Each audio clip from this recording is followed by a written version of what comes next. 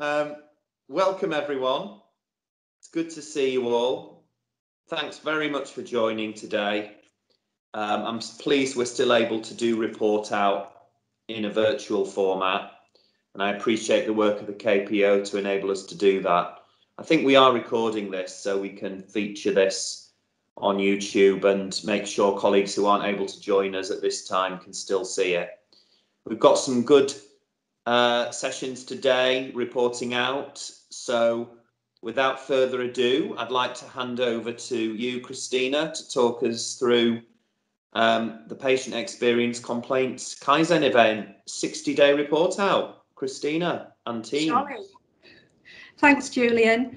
Um, so just to recap for those of you who might be joining us for the first time, we held a Kaizen event on the 8th of September that was focused on um, complaints, the complaints process. And we decided as part of that to focus on the process within the CSUs and to address two particular areas. One was to improve the timeliness of complaints and how quickly CSUs um, processed that piece of work. And the second area of focus was to improve the quality of a complaint response. And we all undertook to um, test various different initiatives that would achieve those aims. Um, next slide, please.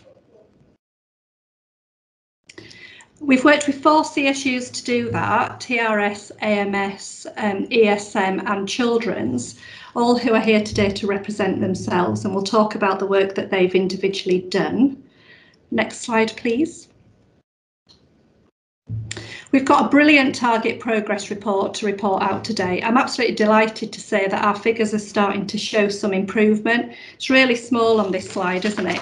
But actually, um, if I talk you through it, we've got a shift in lead time for the two CSUs that we were able to measure.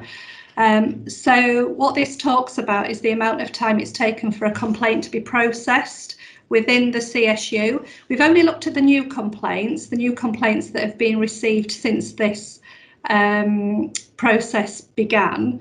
But for those complaints for children's, they've reduced down their time from um, 1,464 days to 1,188 days, which is absolutely brilliant and an improvement of 19%. And for um, ESM, they've improved their time from 1,248, um, sorry, hours, not days, to um, 888 hours, an improvement of 29%. So that's just absolutely brilliant. So delighted to be able to report that out. And just to uh, reinforce that the two CSUs we can't report out against is not because they haven't made improvements, but because we haven't got the data to be able to analyse for them as yet. Um, the other really good piece of good news is our um, work in progress. So one thing I was really conscious of is that it's really hard to demonstrate some of the improvements through the high level um, data. But if we actually look at the work that is going on within those CSUs to reduce down um, the backlog of complaints that they had prior to the 1st of September, there's been some really good work achieved. So Children's have um, managed to close down all 14 of the complaints that they had open on the 1st of September.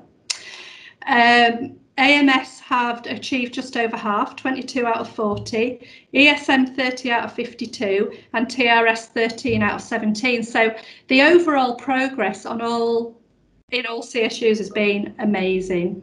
Um, so really good to see that this work is taking shape and is really starting to show um, impact. Next slide, please, Natasha. Uh, in terms of our newspaper, again, delighted to be able to say good progress being made against all the actions that we committed to deliver. Um, we continue to have our weekly accountability meetings, which really helps us focus on these actions and um, drive them. And those conversations are, are, happening regularly and are really helping us achieve outcomes. Um, next slide, please. Uh, some of the other really good news stories to tell you um, are that you'll you'll be aware that we have introduced a new complaint response time framework which challenges our CSUs to complete some of their um, less complex complaints within 20 days. Now, this is a real shift for us as an organisation and, and, a real challenge to think about how we do that in the context of a whole heap of complaints sitting in um, in many of our CSUs to to manage. But actually, this month we had the first example of one of our CSUs completing that task, not only within 20 days, but actually in 13 days. So well done to TRS for demonstrating that it is possible to do this. because um, I, I, know lots of our CSUs felt uh, felt that that was definitely a challenge, but here we have proved that it can be done, so that's amazing.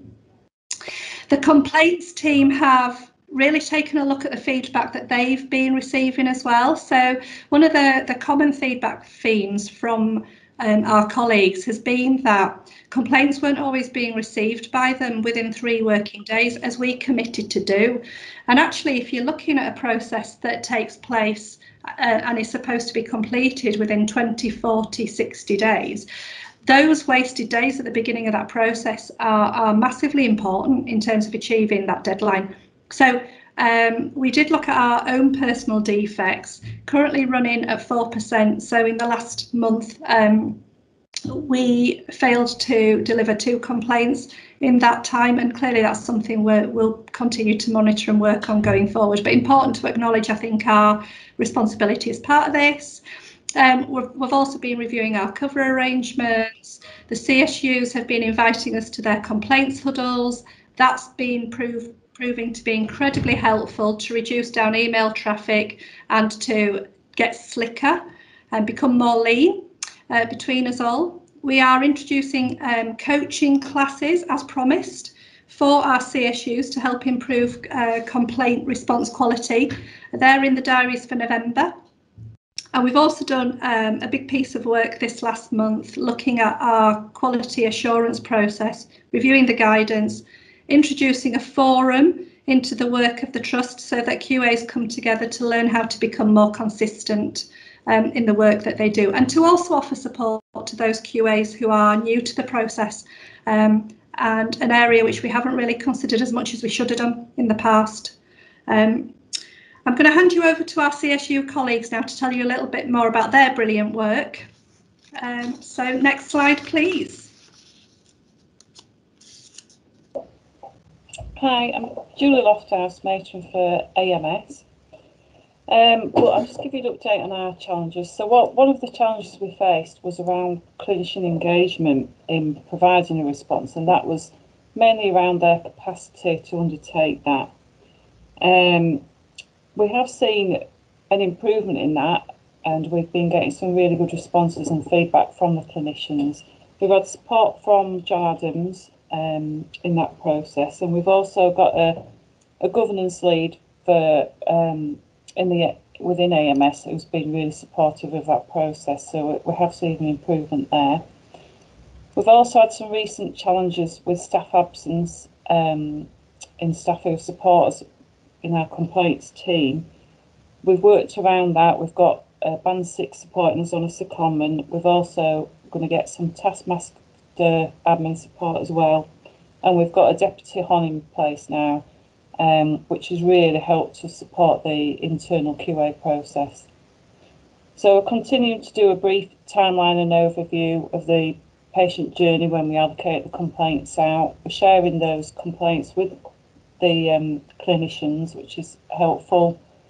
We're providing specialty teams monthly data on complaints and targets We've got our escalation process in place. The complaints team are attending that now. We've set our internal timescales um, and we are getting support from the complaints team and patient experience, which has been really helpful. And all of that is helping us to um, respond to our complainants in a, in a more timely way.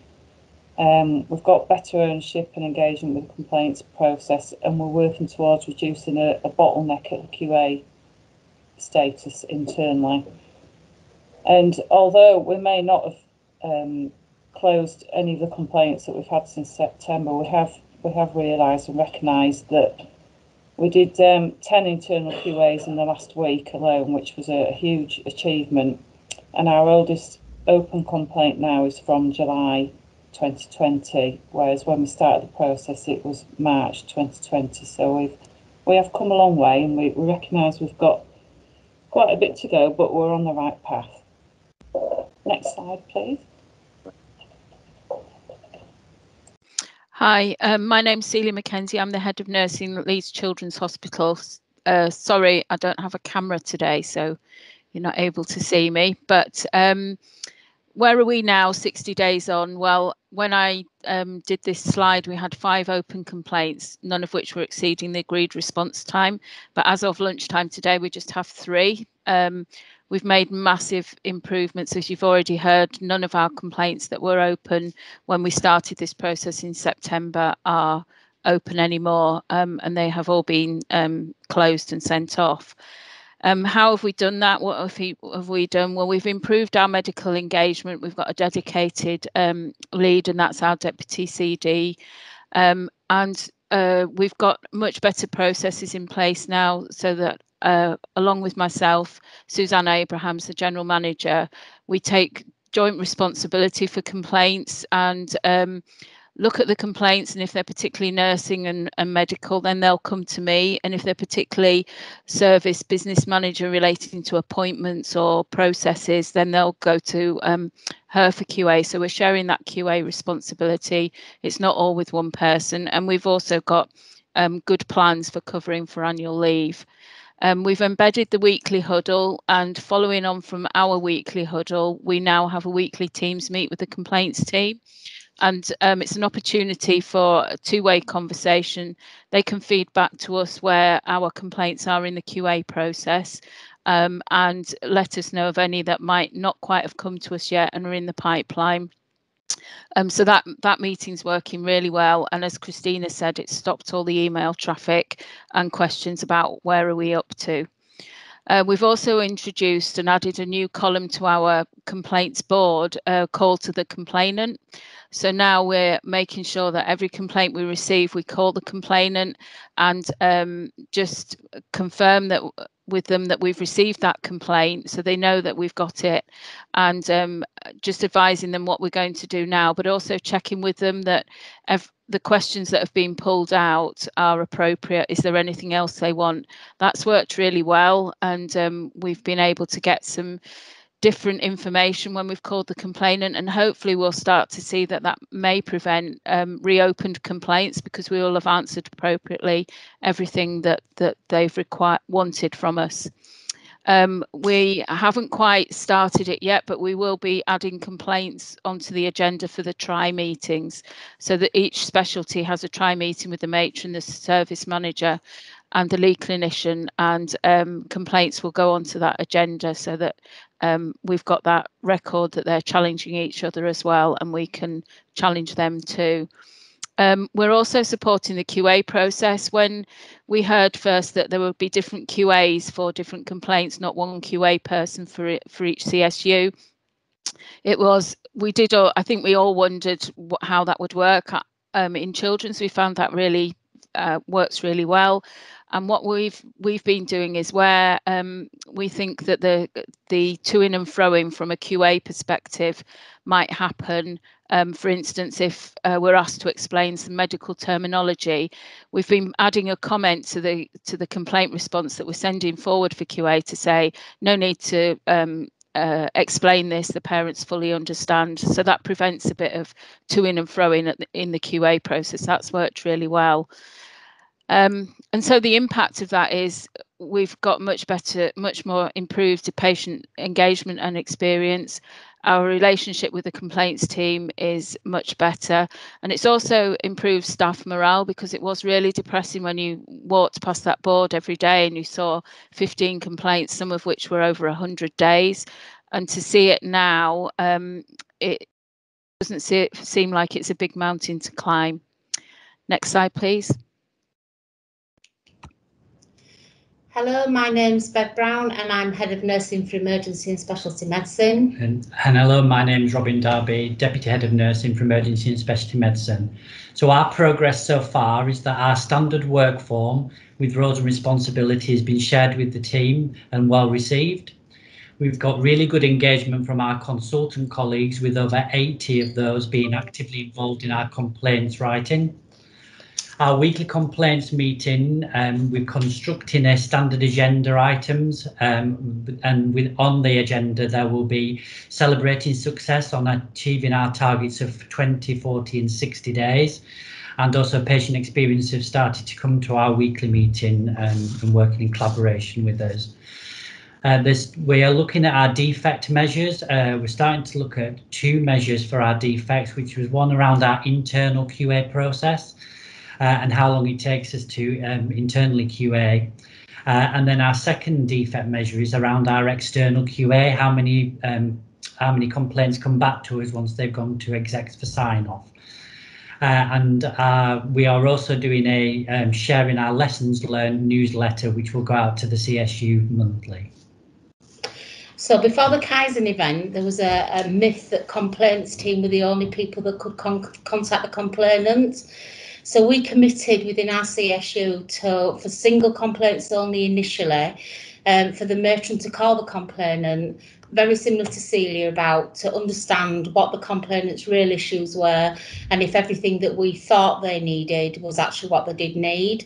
And that's worked really well. It's worked well because the complainant feels more listened to because the matrons are calling them and having that conversation um, and giving that verbal assurance. Um, and it also means that when we're sending responses, it's actually covering what the complainant wants responding to. And then next, um, we we wanted to focus on the coaching for our complaint writers, for our authors. And so what we agreed to do was if we received a complaint through internal QA that we felt needed some work doing, we actually sit with the person who's written the complaint response to go through it with them. That not only saves time in that you've not got a complaint going backwards and forwards within the team, but it's also a really good learning tool for that person who's authored the complaint so they can sit with someone to understand how it might be better worded or better formatted. In addition to that, the complaints team have agreed to do some of this one-to-one coaching as well. And we've had a, a, big uptake on that in the CSU, a lot bigger than I thought we would have. And we've forwarded names to the complaints team for them to provide some one-to-one coaching with our teams. Next slide, please. So, I'm going to do the TRS update because unfortunately Donna has had to send her apologies today. She's been called to an urgent meeting um, and her deputies are away. Um, but I am able to tell you that she, um, similar to Bev's description, has been really focusing on um, delivering some internal coaching to support her to receive responses that are um, better quality that she feels um, are then easier to sign off um, as a head of nursing with less work required. So she is currently coaching um, a CSU business manager to support her in that. You've heard already about the great work that's been done in the team to reduce their backlog and to um, achieve the delivery of a complaint within 20 days. So really excited to be able to share that with them um, earlier this week. The um, the CSU also have um, introduced uh, a much clearer production board, um, reflecting the 20, 40, 60 day framework, continue to deliver weekly huddles, um, and are additionally taking on some of the work that you've heard about in other CSUs today um, and taking the initiative to ring complainants at the onset of investigations to really get that clarity um, about what it is complainants want delivering to make sure that actually those responses go out um, containing the information that people are seeking and provide the um, assurance and support that our complainants are, are requiring. Um, next slide, please. So just finally from us today, we um, continue going forward to commit to our weekly accountability meetings. We will meet again um, prior to day 90, um, as we did prior to this meeting today. Um, those opportunities are really good for us to get together and share our learning, and we are learning from each other the whole time about how to improve this process. Um, and as you've heard from Robin and Bev today, we're also um, really trying to focus on what data can be captured at CSU level to demonstrate improvements that are happening that might not be able to spot when you're looking at the wider picture data.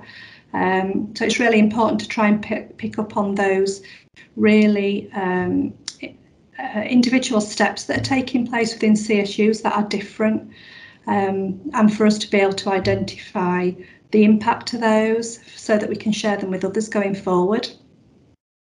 Um, so that's the end of that report out for today for our complaints um, 60 days and we look forward to seeing you again in 90 days.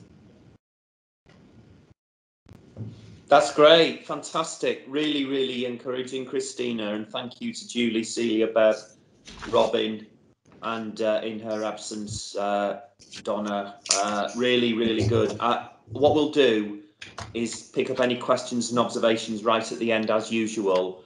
But just to say, I'm really pleased to see the progress following the session we had in Gledhow when we embarked on this. Uh, and uh, it's great to to see the level of commitment and also the way that the teams are working together. So well done. So next up, we've got using Trello in our daily work and uh, looking forward to hearing about this. So Julie, over to you. Hiya, I think I'm Julie today. Um, oh, I'm, hiya. Hiya, I'm Calvin Farrow, I'm a medical workforce manager. Uh, for those that don't know the medical workforce team, uh, we're a HR function that support our medical workforce. So we're a large team of 25 and we've got a few of the team on the call today who are going to join in this uh, short presentation. We really wanted to just show you how we've used the Leeds improvement method and technology to change our way of working during COVID and remove some wasteful email traffic and streamline some processes just to keep to our timescales and deadlines. The next slide, please. Just, just a quick bit about our team purpose and what we do. So we're um, accountable for the safe deployment and management of junior doctors uh, seven days a week. So if a doctor rings in sick or he can't attend, he or she can't attend shift, um, we'll assist the CSUs in plugging that gap, um, all whilst ensuring that all contract rules are followed, which basically ensures that LTHT doesn't have a doctor turn into a shift who has worked too many hours or hasn't had adequate rest or doesn't have the right employment checks. And we're really heavily involved in junior doctors rotations. Um, I think we have rotations nearly every month now with over a thousand junior doctors at LTHT. So it's a really lot of information to keep coordinated and keep on top of. And once we receive doctors' names for a rotation, we assist CSUs in getting those doctors placed onto rotas, ensuring they have a work schedule and a live rota. And we have to do this and abide by um, contract deadline timescales.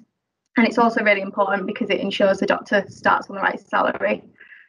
So we do a lot of work um, with the CSUs designing those rotas and again ensuring that rota change procedures are followed because again lots of contractual rules and if we don't adhere to them we can be fined.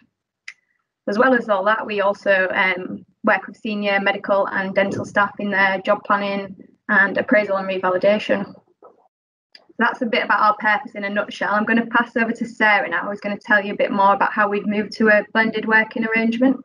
And next slide, please. Hi, I'm Sarah. I'm an assistant workforce manager.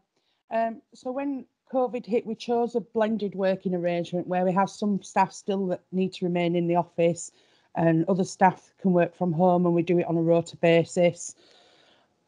Um, our service starts at 8 a.m. every day and it finishes at 6:30 p.m. Monday to Friday. We provide weekend cover as well as bank holiday cover 9 till 5. Some of the issues that became apparent were when we work when we used to work in the office all the time. The rot- we had rotation sheets. Um, these rotation sheets helped all the teams keep a track of where we are and what we were doing with each rotation. And if anybody was off or we needed to know some information, they were easily available on desks. Um, but obviously, this wasn't possible when COVID hit and people were isolating and working from home. Um, so we wanted some solutions.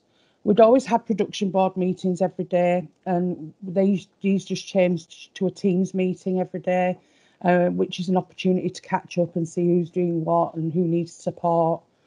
Um, we, we also use them to see who needs uh, help and if anybody can help anybody else. Um, and we share big pieces of work. Um, we've been toying with using Trello for quite some time, even before COVID, and some of more tech savvy team members had put together some boards, but not everybody had really had time to utilise them properly.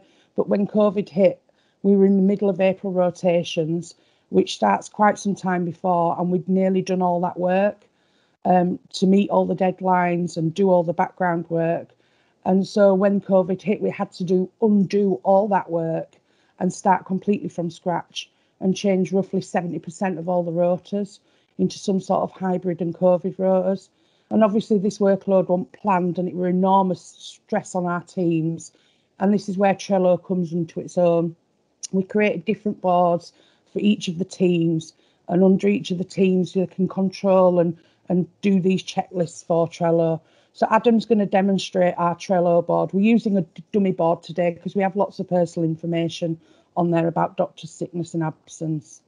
So I'll hand over to Adam. Thanks, Sarah. Um, am I okay to actually share my screen to be able to give a bit of a demonstration for Trello? Go, yeah, go for it, Adam. Thank you.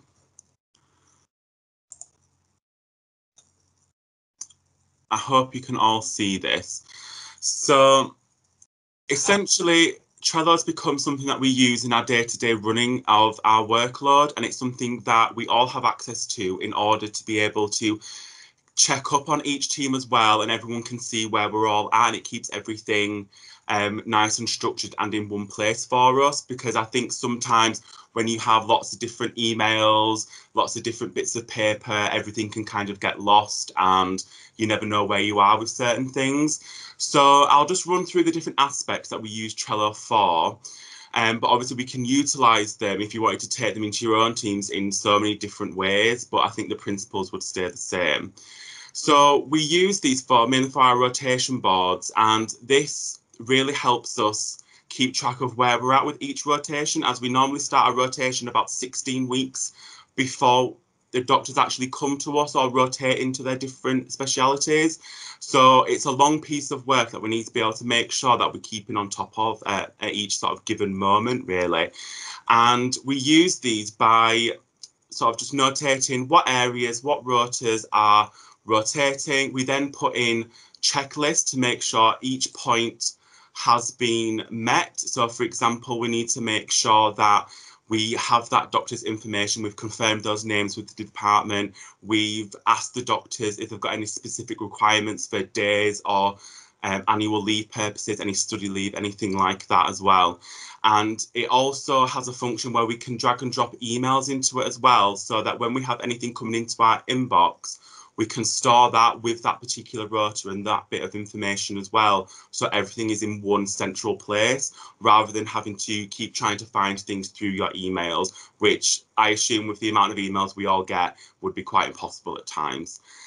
Um, so that's really what we're using this for. And it's handy as well so that when other members of the team or other colleagues from different teams uh, dealing with queries regarding this, they can look on and see where we're at with everything as well. So it really helps us be able to utilize cross cover, especially since we don't have many people in the office at the moment due to COVID. For those that are specifically in the office and answering the phones, it's handy for them to be able to deal with that query there and then rather than having to delay it or pass it on to someone else.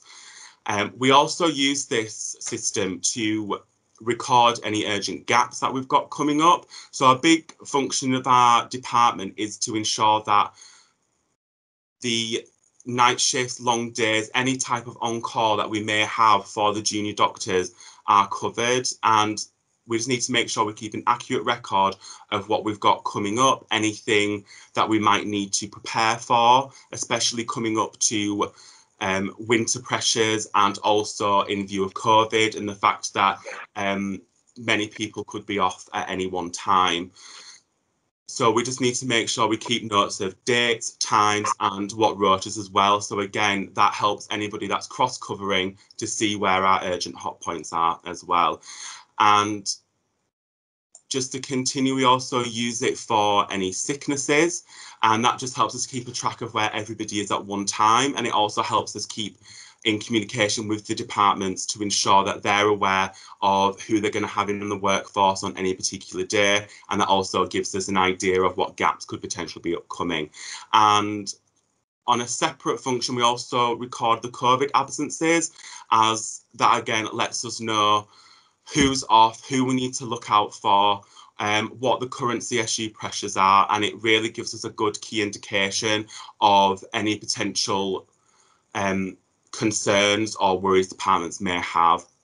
And then more sort of daily or monthly things for us as deployment um, would be just to keep a track of our emails, our team emails, and making sure that they're getting done and to sort of raise any queries with that as well, as well as making sure, because we're in charge of making sure all the bank doctors get paid for their shifts.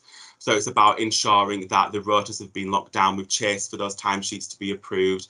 We have everyone on the correct clearance, everyone's been rehired on the system, and we're checking for any payroll queries that we need to look at for this month from the previous month as well. And as well as looking at any rehires or, or new hires to make sure that everyone is clear to work and all the bank details are with payroll to make sure that everyone has a smooth and good experience with LTHT. And then we just also use it for things like hot topics or anything to keep in mind. And I like to use this place to keep any useful hints or tips for anybody that is working on anything. For example, if you're creating templates, how to create those templates, our bank rates, our current variation orders that we have in order to pay at higher rates or at different rates for any reason. And we use this in our daily huddles, and it really does help keep everything together. And it's definitely made us a lot stronger and it's made our communication a lot clearer as well when we are discussing it as a team. Um, but yeah, so thank you so much for listening, um, and I'll pass you back to Carmen. Thanks, Adam. Um, hopefully, we've just shown you quite quickly how we're able to sort of keep on top of our deadlines and targets and, and share information in a less wasteful way using the Trello boards. I think Adam touched on it, but it's been really helpful with a team that works shifts and has a blended working arrangement. I think an example I noticed um, the the last weekend that the team member working the weekend had a, a lot of sickness and a lot of event, events happened over the weekend, and it meant on that Monday morning that the team um, they didn't need to chase up go through emails. It meant that they quickly knew what had happened. So thank you for listening. And if anyone has any questions or wants to contact us um, for any advice on setting them up, please do. Fantastic. Thank you, Carmen. And thanks very much, Sarah and Adam. That was great. Really, really good. It's really impressive to see how you're using that to help organise and manage all of those rotas. I did notice, Adam, we've got on your slide there was a Donald Trump rota. We might need to rename that soon. Don't Very good. James, that wasn't me. but no, really good, really impressive, uh, excellent, and and medical staffing is such an important part of the uh, the way we we organise and run the the trust and deliver care. So uh, it's it's really good to see the work you've been doing. Thank you for sharing that. Um, let's move on. Um, we are sort of over over the time we planned, but I hope colleagues can just stay on a little bit um, because we got important presentation. Uh, first of all, in terms of Lean for Leaders, a big congratulations to both of these colleagues. Marianne Taylor, Lean for Leaders certification, eMedicine's lead pharmacist, fantastic. Marianne, brilliant work. And Emma Wright, Lean for Leaders certification in corporate planning. Really, really well done, Emma. Great work. So, uh, a big congratulations to both of you. Um, you'll have to sort of imagine I'm handing this over to you. I'm giving it sort of a virtual presentation here uh, in terms of your certificates which I know um, you, will I'm sure you'll get, but it's no mean feat. Uh, lean for leaders, particularly given all the challenges we've got right now. So, really well done to both of you. Thank you, Julian. Great. Okay. Um, I don't know if either of you were planning to say anything. I'll just check, or you're happy just to receive our congratulations. Uh, Julian, I, I'd just like to say something very quickly. Of I know we're course, running over please. time.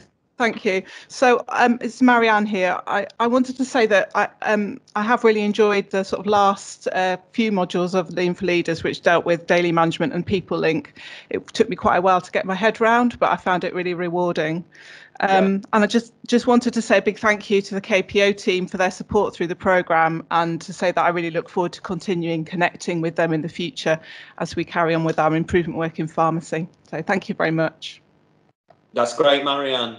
Um, I, I think we'd all agree with those comments, and hopefully you'll maintain that relationship with the KPO team and continue to um, develop your skills and your build on what you've done through the program. Um, Emma, anything you wanted to add? Hi, Julian. Um, yeah, I think I'd just echo Marianne's comments. Um, it's a journey that is quite difficult at times, um, and whenever I came across things that I wasn't sure about, the KPO were always really willing and helpful. Um, and it was not anything that they hadn't seen before, and they gave me useful tips, coaching, and advice. Um, and I'm just looking forward to sharing that with other teams now. So brilliant. Thank you. That's great. Thanks very much, Emma. Well done. And I, I guess just to add, I think we're very fortunate to have uh, such a strong and supportive KPO team who are there to help all of us uh, as we go through our learning and feedback from both of you. Uh, so really well done. Now we're up to um, questions. I appreciate we are over time, but I'm very happy just to uh, allow a bit of time for any questions or comments on what you've heard so far. We've had some really, really good presentations. So I can see a hand up there from Anthony. just want to say how pleased I am with the report backs, uh, report outs from the complaint uh, experience uh, Kaizen event work. Uh, particularly, what I want to draw attention to is the initiative which has been up a fortnight at the beginning of this. And I think it's central. But why I'm so pleased about it is that it promotes the trust value of being patient centered. I think that's Yeah. really important.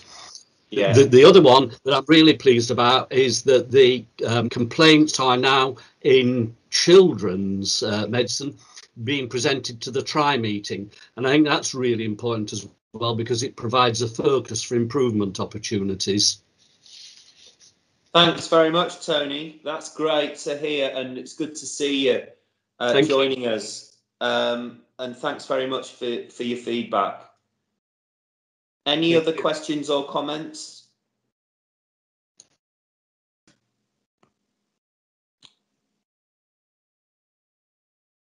Yeah, there's some good stuff in the chat actually. I hope you can all see that, which comment on the uh, the presentations that we've heard today. Um, so that's really great, and I'm sure I can notice Jimmy's contributed. I'm sure Jimmy, we can save those comments and share them with colleagues who might not have been able to join us today. Um, okay, well, in that case, let's end uh, today's report out there.